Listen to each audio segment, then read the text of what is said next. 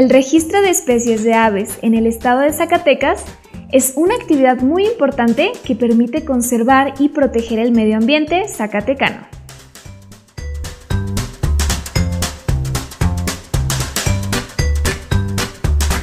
Y en temas de medio ambiente y del cuidado de las especies, tenemos aquí a una de las estudiantes de la Unidad Académica de Biología, quien está realizando una tesis para poder obtener su grado. Muy interesante porque ella está investigando y trabajando aves y cómo es el medio ambiente en donde se desarrollan y si el ser humano está afectando este desarrollo de las mismas. Y nos gustaría darte la bienvenida y que nos platicas acerca de tu investigación. Hola, ¿qué tal? Muy buenos días, mucho gusto estar aquí con ustedes.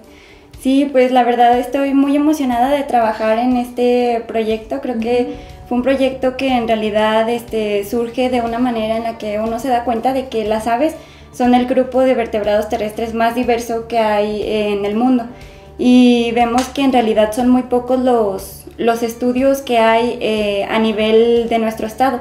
en realidad los estudios que se han tenido han sido de hace más de 40 años y han sido como tal inventarios en municipios diferentes. En este momento nosotros nos encontramos trabajando en el municipio de Susticacán y pues en este municipio nunca se han hecho estos registros, estos estudios de aves, no se conoce exactamente cuál es la diversidad de aves en este sitio. Entonces, pues creo que es muy importante porque nosotros no podemos cuidar algo que no conocemos.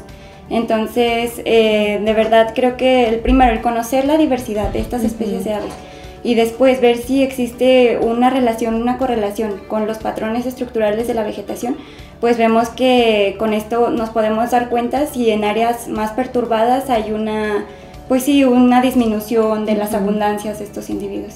Y platícanos qué tipo de aves son las que estás investigando. ¿Todas las aves que hay en el territorio o una especie en específico?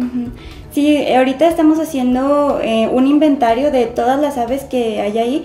De hecho, hay bastante diversidad. Hemos encontrado más de lo que esperábamos encontrar.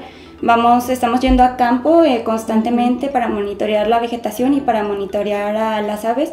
Lo hacemos por medio de fotografías e identificación con guías de campo y pues en realidad hemos obtenido bastante eh, riqueza de estas especies y pues ahora con que hagamos el estudio de correlación pues vamos a ver qué nos arrojan los datos para conocer. Me gustaría que ahora nos platicaras quién es tu asesor o asesora de tesis y cuál es el objetivo a donde quieren llegar con esta tesis. Muy bien. Sí, mi asesor de tesis es el doctor eh, Rogelio Rosas Valdés.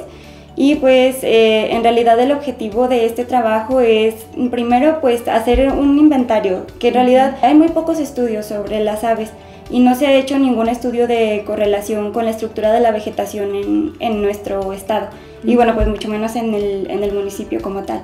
Entonces yo pienso que esto también abre las puertas para que se empiece a conocer más la diversidad de Zacatecas, porque de hecho se considera a Zacatecas como uno de los estados menos diversos.